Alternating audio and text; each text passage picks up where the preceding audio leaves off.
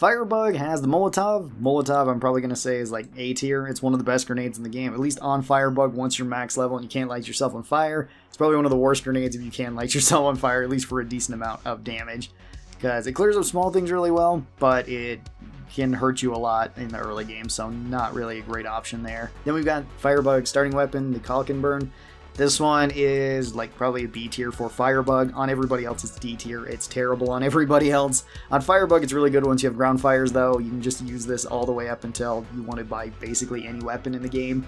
It's very effective for killing small and medium Zeds. Not the greatest for killing big Zeds, but that doesn't matter because by the time you're getting to big Zeds, you probably have whatever the heck you want in combination with it and this one's just really solid at the start. Then we have the Spitfire, which the Spitfire we're going to be talking about quite a bit, with at least with a single one. Single one's okay on Firebug. I'm going to say it's also B tier. It's lightweight, it's cheap, does good for floor fire. You can hold a lot of shots with it. That's pretty nice. On like Survivalist, you're probably not going to take it because there's better pistols at the same price and at the same weight, but on like Survivalist, it'd probably be lower. Probably like C or D tier. Dual Spitfires is really strong. I'd say this is A tier for Firebug. Does a lot of damage per second. You get a whole lot of shots. You can spam fire this pretty well. You just have to fire at the ground. It's really cost effective because it's super cheap at just the tier 2. Uh, it actually scales pretty well with upgrades too.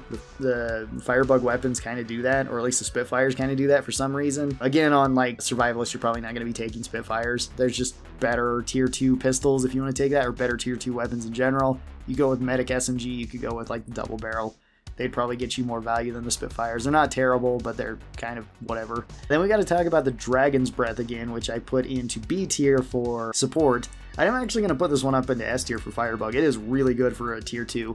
Does really good damage, really good damage per second, holds a lot of shots if you want to take the bigger magazines. The floor fires are insane with it. It scales well with upgrades. Really good there. It would probably be like B tier on support, A tier on survivalist, and S tier on firebug. That's where I'd probably put it. It's it's actually a really good weapon. It's a really good tier 2. Then we have the Mac 10. Mac 10's kind of an awkward one for firebug. It's honestly pretty fun when you have like infinite ammo during Z time with it, and it holds a lot of shots but I'm going to put this one like C tier. It's not as good as some of your other tier 2 options like the Dragon's Breath or like the Spitfires because you can't put floor fires with it. Holds a lot of shots though, and actually for like um, survivalist, it's an okay option because it's not too expensive. It's still lightweight. It's still a submachine gun, but even then, it, it'd still probably be like C or D tier for them. Just because you have other submachine gun options aside from this one. Scorcher is pretty awesome. Scorcher is probably like A tier. This one, uh, with its regular fire, it fires out a flare that hits enemies, burns them, and with the secondary fire, it fires out a broken flare that puts down a bunch of fire on the ground.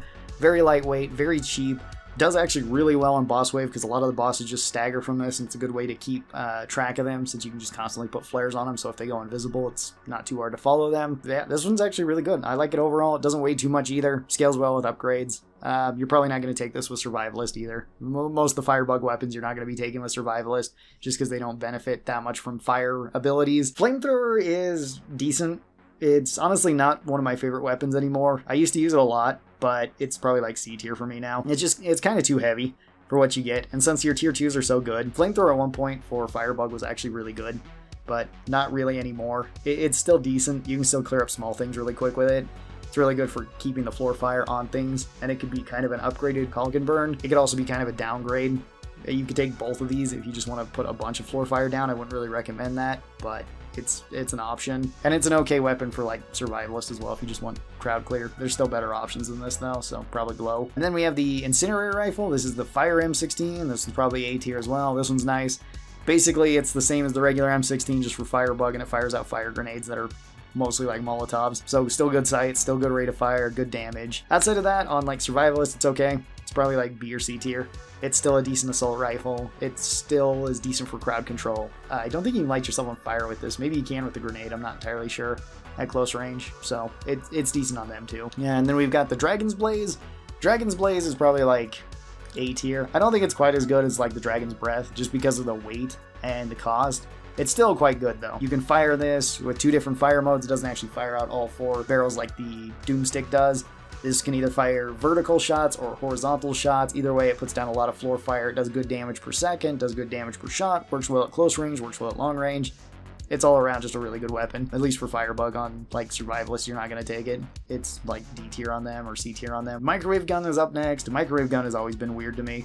I'm gonna put a B tier. I think it's like right in the middle. Microwaves themselves are pretty strong, but you have to get up close with this. Its secondary fire knocks things back, and it can also count as explosive damage, so you can kill Fleshpounds a little bit easier, a little bit quicker that way. And that's kind of nice but still, very awkward weapon to use a lot of the time, and the microwave gun has fluctuated so much. It's either been overpowered or underpowered, and there's been like no in between at any point. I guess now it's kind of like at its most even point, where it's like it's an okay weapon to put on Firebug, and it can be good in certain situations, but it's not like one of their best for any situation, at least any that I can think of.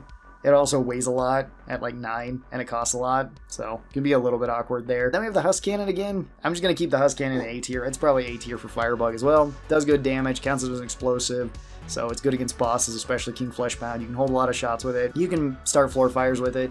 Works really well against Fleshpounds. That's all really nice. Again, probably lower on like Survivalist. Probably like uh, I don't know, C or D tier. Same thing goes with the microwave gun. Not really a good option for them either. Then we've got the thermite bore. Thermite bore is an easy S tier. This is basically the seal squeal for Firebug, and it's even stronger on Firebug because you can put down a ton of floor fire with it. You can have infinite ammo during Z time with it. You can hold uh, 12 rounds in it rather than just six. You can spear anything and do high damages from that, which is nice. And then all the fire on top of it just clears up everything that's small and basically enrages anything that's big, but it doesn't really matter. They're going to be panicking from so much fire. This kills Scrakes, kills Fleshpounds, kills everything really quick. It's just a really strong weapon for all the crowd control. Not a good weapon to take on Survivalist again. It's crowd control, which is okay, but you have better options for the price, for the weight, for everything like that. Helios Rifle is in a similar spot. It's also S tier for Firebug. It does really good damage, really good damage per second. It's your best use of microwaves in the game, probably out of anything. You can also have a really large magazine with it, which is really nice. And even on other classes like Survivalists, this one isn't bad. It's not amazing on them, but it's still not terrible, so that's kind of fun.